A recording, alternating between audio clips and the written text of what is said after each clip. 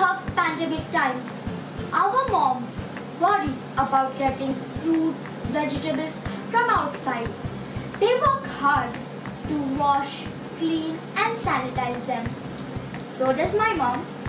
But in addition, she has developed Energya Fortifood, which makes us stronger and helps us fight infections. It has special ingredients like proteins, vitamins, minerals and antioxidants which are known to help improve immunity and support healthy growth. But what I love the most about Energya Fortifood is that it contains multiple taste makers in every pack. Can't resist the yummy delicious strawberry cheese so much that I even put it on my ice creams.